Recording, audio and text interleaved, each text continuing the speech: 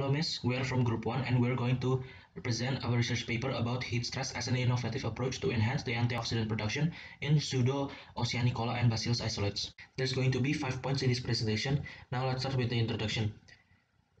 this research is done due to a global need to replace synthetic antioxidants with natural ones because there's a potential carcinogenic effects found in the synthetic variant. The aim of this research is to increase the production of antioxidants in Pseudo-Oceanicola and Bacillus isolates by applying heat stress. Next is the methodology. There's going to be four points in this part, and the first one is bacterial isolation and growth. The sample was collected from Saudi Arabia and carried using the M1 medium and stored in glycerol at minus 80 degrees Celsius. The sample is then split into three uh, parts and grow under different temperature which is 36, 46 and 56 degrees Celsius.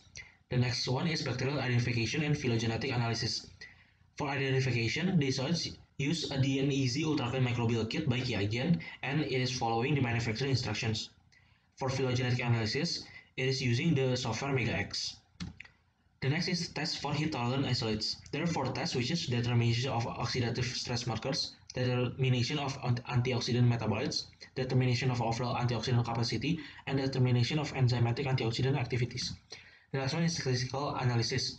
It is using a SPSS statistical package and an ANOVA is made using the package and a Tukey's test is used to separate the means. Each experiment was done at least three times. So now let's move on to the results. The researchers obtained 17 strains from Afsatia Lake, but only 4 of them can withstand heat stress of 56 degrees Celsius. They are then further analyzed. The remaining 13 isolates were unable to withstand heat stress and were not further analyzed. The four strains were compared with the publicly available prokaryotic sequence databases.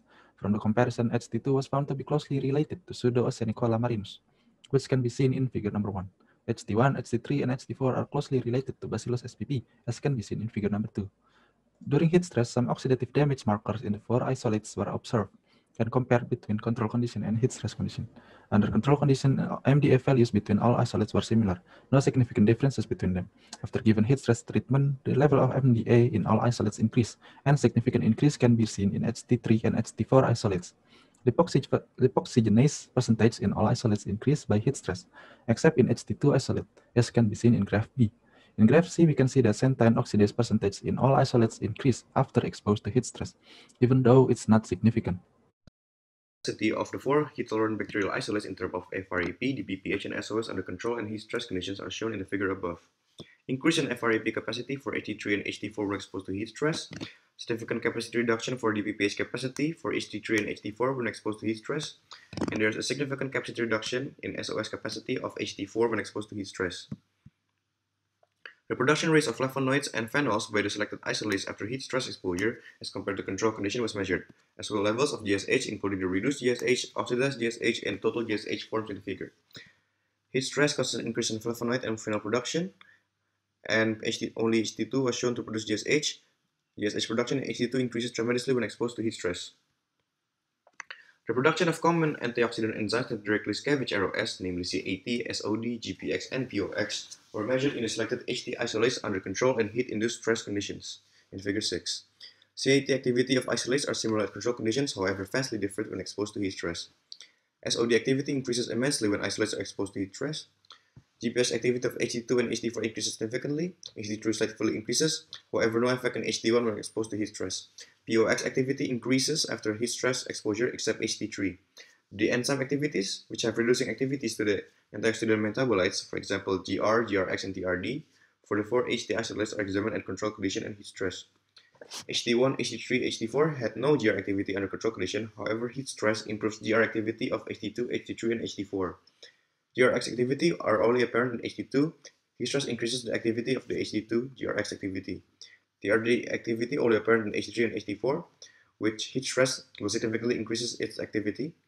GST activity only apparent in HT2. heat stress slightly decreases the HT2 activity. Hierarchical clustering graph consists of four main clusters based on their responses to heat stress. The first clusters consist of overall antioxidant activities, antioxidant metabolites, and antioxidant enzymes which are high in HT2 under control conditions and subsequently increase under heated conditions. Second cluster consists of overall antioxidant activities, which are high in HT2 and HT4 in control conditions, high in HT1 under heated conditions. Third cluster consists of damage markers, antioxidant metabolites, and antioxidant enzymes, which are high in HT2, HT3, and HT4 under heated conditions. The fourth cluster consists of damage markers, and antioxidant metabolites, and antioxidant enzymes. This part will be brought by Edrick and Alif. As been said in the beginning, stress such as heat causes plants and microbes to elevate their antioxidant metabolism to prevent forming of free radicals. From the test, we learned that the four heat-tolerant strains are less affected by oxidation as a result of high and increased antioxidant capacity, which are labeled as DPPH, FRAP, and SOS. And it with every strain, it has a different effects uh, as written on the table. The antioxidant being metabolized are polyphenols, which is very effective on dealing with free radicals, flavonoid that is able to chelate or to make bonds with metal ions, and lastly glutathione, which is exclusive to pseudo-oceanicola strain. Many studies reported that tolerance to heat stress is linked with an increase in antioxidant enzyme activities. Catalase, superoxide dismutase, glutathione peroxidase, and peroxidase are the antioxidant enzymes that are significantly increased in the strains, and it functions to scavenge reactive oxygen species directly. In this case, superoxide will be converted into hydrogen peroxide by superoxide dismutase. Then catalase and peroxidase trigger the conversion of hydrogen peroxide into water and oxygen.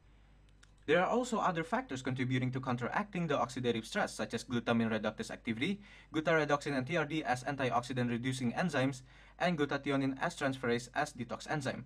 However, glutamine reductase, glutaredoxin, and glutathione S-transferase can only be found in the pseudo-oceanicola strain, which is HT2, with glutamine reductase and glutathione S-transferase being significantly improved in heat stress. Meanwhile, TRD in the bacillus strains such as HT3 and HT4 is significantly improved in heat stress. In conclusion, heat-tolerant bacteria has great antioxidant metabolism during heat stress. Pseudo-Oceanicola strain in particular is a great GST-producing bacteria during heat stress. That is why it is an innovative method to produce antioxidant and enzyme through HT bacteria that can be applied in many fields such as food field or medicinal field. Here is the reference. And thank you for listening.